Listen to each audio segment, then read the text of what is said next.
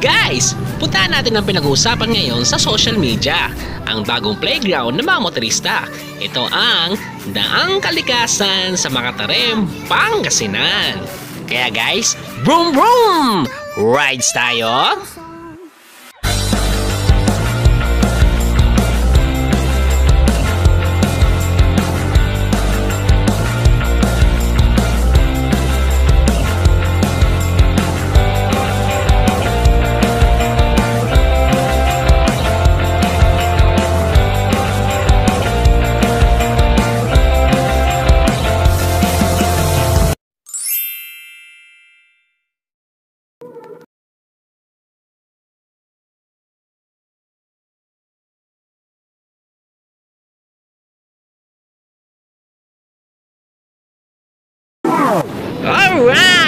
Good morning mga ka-adventure! Ngayon eh, pupunta kami sa our next destination ng aking wife na nasa likod. Ah, itong pupuntahan natin ay kilala. Hindi lang ng mga biyahero, kundi rin ng mga kapwa natin mga kay-riders. Kaya 2.30 pala ng madaling araw.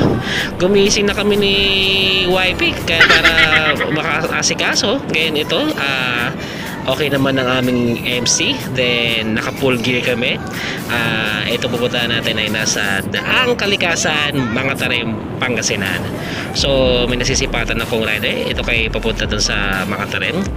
Uh, check pala na check niyo pala aming YouTube channel na ang Cardinals Adventure. And sana maging safe ang aming biyahe. Uh, ingat and sana maganda ang view doon ang daang kalikasan sa lungsod ng mga tare may isang way na magdurugtong mula sa Pangasinan hanggang sa Santa Cruz, Zambales. At bungad pala ng pagkakit ng bundok, matatalan mo kaagad ng kagandahan ng buong view.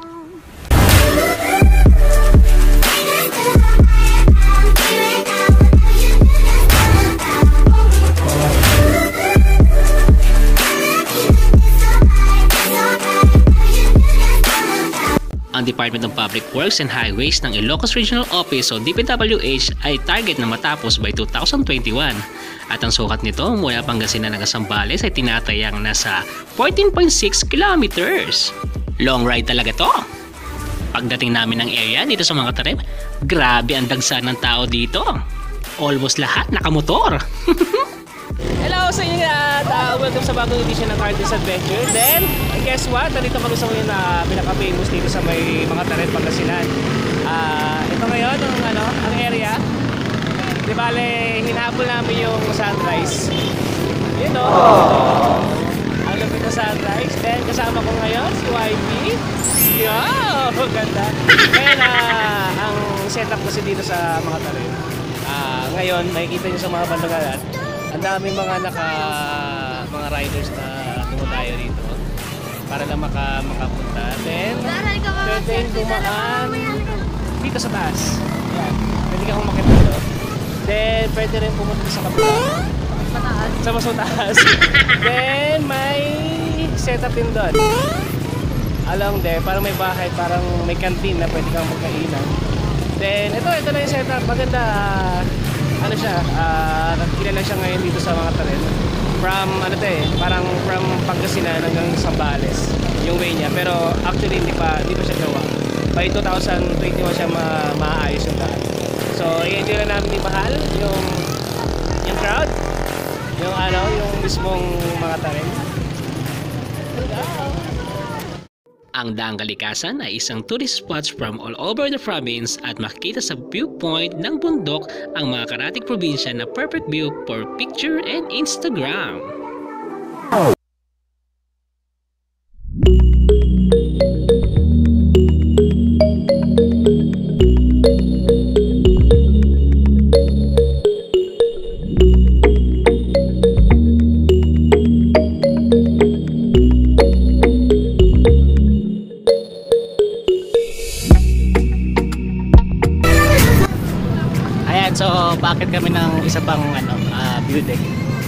Dyan sa pag-akit kasi medyo matarik. Ayan, medyo madulas. Kung di makakabay yung sapatos mo, disgrasya. View lang ako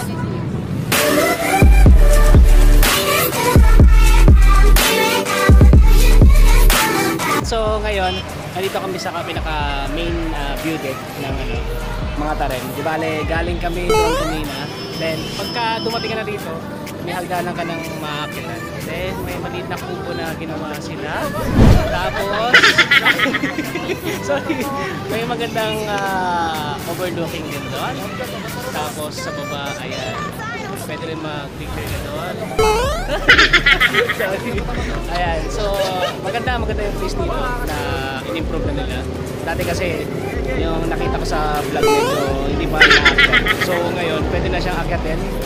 Ah, ah, good for picture taking. So maganda, maganda yung place na to para sa mga ah, gusto pumunta dito sa mga Karen Pangasinan. Nagpapuwisan na ako. Sabi ni Barbie. Hello, Barbie!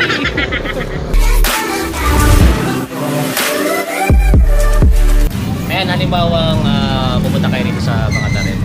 Di bali ang set, ah, setup na ito na mahirap yata mag-commit na papunta dito kasi mga tricycle na pupunta dito hanggang doon sa pinakababa.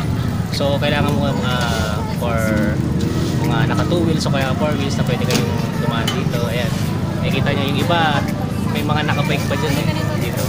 Then hindi hindi na kayo mga problema pag sa roads kasi ayan, may mga burger station dito sa sa mga taren. Then may mga water drinks, yan, mga tinapay. Ah, banda doon din, meron din mga nagbebenta. So, hindi kayo magugutom pag pumunta kayo dito. Muna siya, nagugutom na kasi siya. Ayan. Ang construction ng Makatarem side ay nag-start noong 2017 along the highway on the Zambales side. At banda sa unahan may nagbebenta pa rin ng mga pagkain. Kaya thumbs up sa inyo guys! So, nandito ako ngayon sa may zigzag road, di bale, under construction pa siya. Ah, pag nakikita niyo itong daan, pwede na siyang daanan ng mga motorista. Then, galing kami dyan hanggang doon sa pinaka-unahan. Ang daang magduduktong sa dalawang probinsya ay magiging malaking pakinabang hindi lang sa mga motorista kundi sa mga turista ang gustong makitang lugar and also to be ensure the protection and preservation of the remaining virgin forests in the area. Ayan, so ito na kami. May dinaanan pa kami na viewpoint dito sa mga tarem, di bale. Parang ito na yata yung pinakamataas na pwede kang mag-picture sa ah, overlooking. Ayan. So, nakapahinga pa kami. Dito, dito pa kami sa pinakagitna. Ayan pa. Taas pa kami dito. Galing pa kami doon sa pinakababa. Ayun oh. Grabe yung taas na ito. So, ah, suggest ko lang sa inyo, ah, magdala kayo ng tubig tapos konti lang yung dalhin niyo ng mga bag kasi baka pag mapagod kayo sa pagpunta niyo dito then alalila lang kasi yung pinakadaanan talaga nito hindi pa siya med- medyo ah, medyo maayos kaya pag na pag ma- maulan maputik pa rito kaya ingat na lang ngayon siya yung daanan no medyo madulas siya pero pag itong maaraw naman eh okay naman siya pero doble ingat pa rin. Pag nyo ng bundok, bubulaga sa inyo ang mga Tareem Mountain. Siyempre, hindi namin sasayangin ang pagkakataong mag-selfie.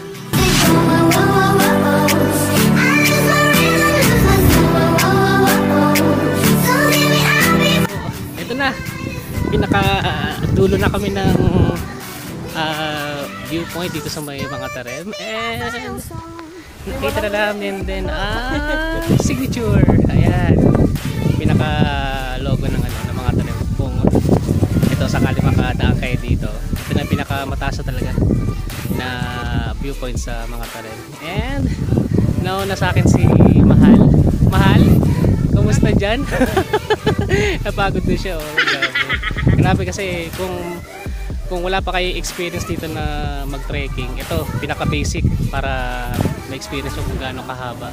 Siguro galing doon sa baba mga mga 15 to 20 minutes kasi papahinga pa talaga kayo eh. Kaya effort talaga. Ayan, so ito na po yung view. Yan ang view. Ang lupit!